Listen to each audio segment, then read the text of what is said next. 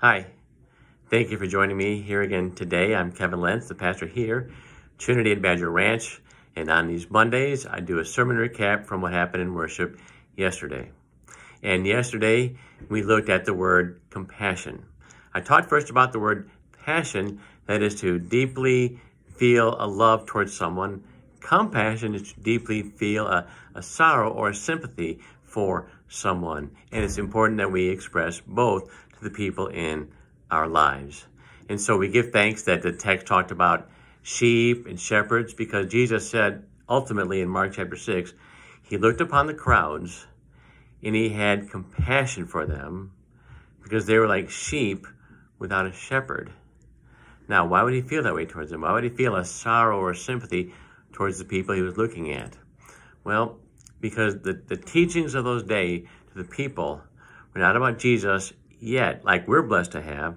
They were told by their elders of the synagogue and the temple and the Pharisees and so on, you lead a perfect life. You don't ever do wrong. You upset God when you go against his will. And that, that was the message that people were always hearing. That's why when Jesus looked upon them, he had sympathy for them.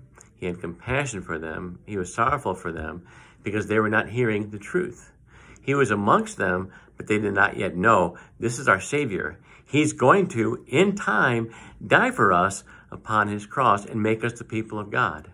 And so we give thanks that as a compassionate shepherd, Jesus looked upon those people, loved on them, cared for them, eventually would die for them.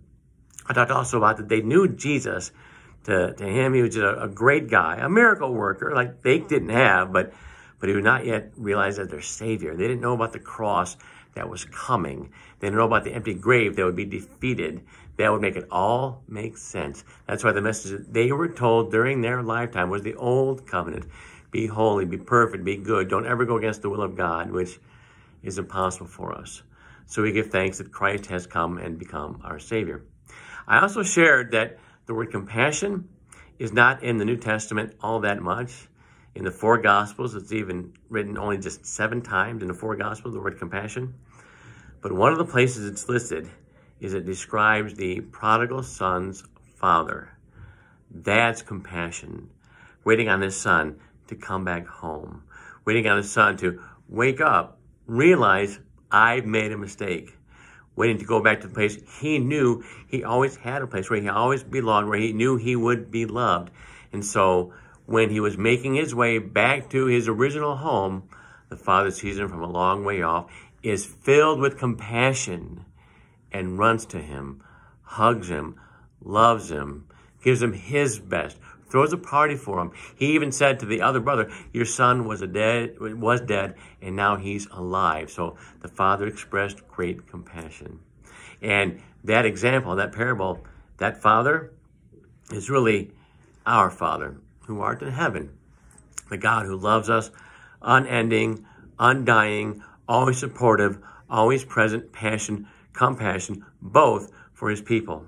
And we give thanks that Jesus told that parable because our Father is that Father who is just waiting on his child to wake up, realize his mistake, and go back to where he belonged.